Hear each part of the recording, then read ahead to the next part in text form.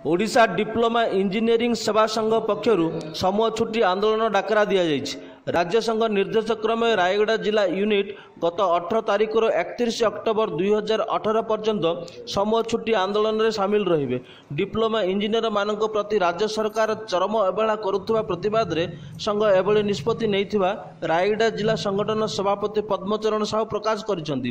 ଦାବିଗୁଡ଼ିକ ମଧ୍ୟରେ ଡିପ୍ଲୋମା ଇଞ୍ଜିନିୟରମାନଙ୍କ ମୂଳ ନିଯୁକ୍ତି ପଦବୀକୁ ସହକାରୀ ଯନ୍ତ୍ରୀ କରାଯିବା ଓ ପଦୋନ୍ନତି ହାର ଶତକଡ଼ା ପାଞ୍ଚ ଭାଗକୁ ବୃଦ୍ଧି କରାଯିବା। ପଞ୍ଚାୟତରାଜ ବିଭାଗରେ କାର୍ଯ୍ୟରତ ସମସ୍ତ ଜିପିଟିଏ ଓ କନିଷ୍ଠ ଯନ୍ତ୍ରୀ ଦୁଇଙ୍କୁ ନିୟମିତ କନିଷ୍ଠ ଯନ୍ତ୍ରୀ ଭାବେ ନିଯୁକ୍ତି ପ୍ରଦାନ ଏବଂ ବର୍ତ୍ତମାନର ସମସ୍ତ କନିଷ୍ଠ ଯନ୍ତ୍ରୀଙ୍କୁ ସହକାରୀ ଯନ୍ତ୍ରୀ ପଦବୀକୁ ପଦୋନ୍ନତି କରିବା ଡିପ୍ଲୋମା ଇଞ୍ଜିନିୟରମାନଙ୍କୁ ଉପଯୁକ୍ତ ହାରରେ ଆର୍ଏସ୍ପି ପ୍ରଦାନ କ୍ୟାଡର ପୁନର୍ଗଠନ ହୋଇନଥିବା ଅଣ ଇଞ୍ଜିନିୟର ବିଭାଗର ଡିପ୍ଲୋମା ଇଞ୍ଜିନିୟରମାନଙ୍କ କ୍ୟାଡର ପୁନର୍ଗଠନ କୃଷି ମେକାନିକାଲ ବିଭାଗ ଇତ୍ୟାଦିରେ ନିଯୁକ୍ତି ଡିପ୍ଲୋମା ଇଞ୍ଜିନିୟର କ୍ୟାଡରକୁ ଉପଯୁକ୍ତ ନ୍ୟାୟ ପ୍ରଦାନ କରିବାକୁ ଦାବି କରିଛନ୍ତି। ଡିପ୍ଲୋମା ଇଞ୍ଜିନିୟରଙ୍କ ସମୂହ ଛୁଟି ସରକାରଙ୍କୁ ଅଡ଼ୁଆ ପକାଇପାରେ ବୋଲି ସାଧାରଣରେ ଚର୍ଚ୍ଚା ହେଉଛି।